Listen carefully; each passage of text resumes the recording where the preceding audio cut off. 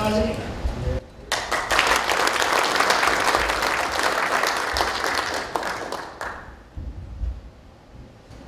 여기 오신 모든 그 선배님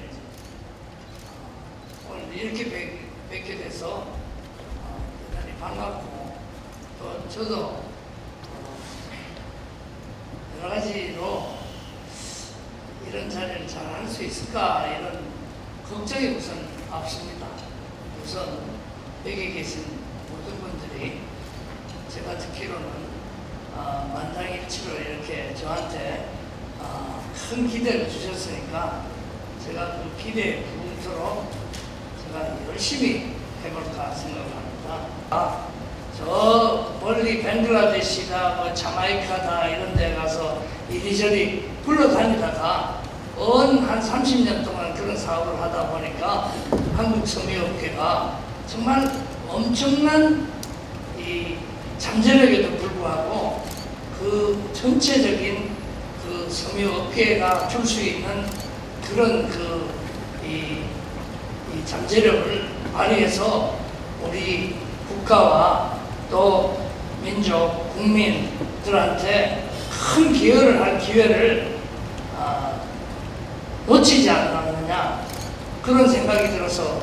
안타까웠는데 모든 섬유인들이 이런 그 좋은 그 포텐셜을 앞으로 어, 구슬이 세 마리라도 꿰어야지 고문이라고 하듯이 이걸 추스려서 우리가 한번 어, 세계적인 위상을 가지고 또 이 우리가 국가 경제에 정말 섬유로서 더 기여할 수 있는 이런 기회가 되고 또 그와 더불어서 더 많은 사람들한테 좋은 직장을 어, 드릴 수 있는 이런 섬유 어, 산업이 되고 그렇게 해서 여기 계시는 한 분한 분들이 정말 응당히 받아야 될 그런 존경 이런 것들을 우리가 서로 받을 수 있지 않겠냐 저는 이렇게 확신하고 있습니다.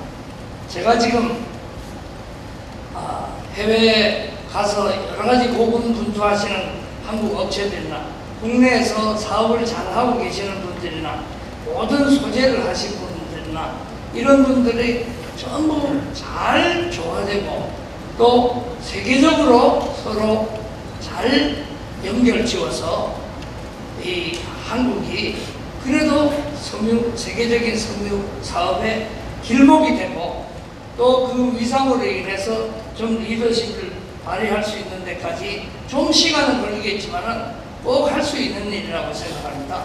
왜 그러냐면 우리 한국 사람들은 어려움을 더 잘 극복해 본 경험도 있고 무에서 유를 창조해 본 경험도 있고 이렇게 하기 때문에 이걸 조금만 더 잘할 것 같으면 우리가 그렇게 할 수 있지 않을까 이렇게 생각합니다. 그때 아, 우리 소유인들이 앞장서서 나라를 구한다는 심정을 가지고서 우리가 아, 이 기여를 해야 되지 않겠냐 이렇게 생각합니다. 모두들 섬유를 사양산업에 뭐 이거 쉬운 일이라고 생각하지만 여기에 섬유가 쉬운 일이라고 생각하시는 분 한 분도 안 계실 겁니다. 정말 모든 하이테크 역량을 다 동원하고 모든 노력을 다 집약을 해서 이렇게 세계적인 경쟁자로서 이렇게 노력을 하는데 그런 마음가짐을 또 몸가짐을 가지고서 노력한다면 우리가 꼭 세계적인 어떤 리더가 될 수 있을 것을 제가 확신하고 있습니다. 모두 좀 힘을 합치고 마음을 합쳐가지고서 한번 해보자고 이렇게 제가 반청드리고자 합니다. 감사합니다.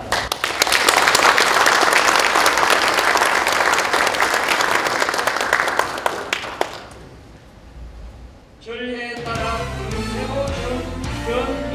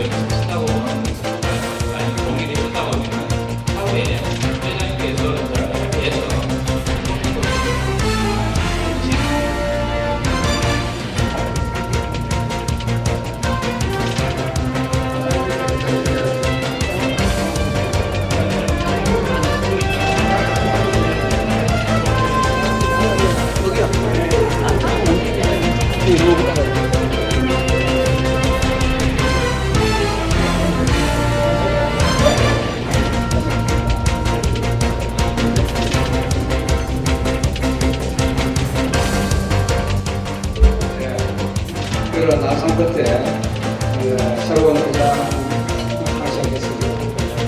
에, 아까도 말했지만, 말했지만, 말했습니다만 비오디에 항상 한국을 부른다는 속담이 있듯이 우리가 좋은 기억을 해봤습니다. 새로운 회장과 함께 새로운 스물 패션의 발전을 위하여 우리, 모두 다 함께 건배!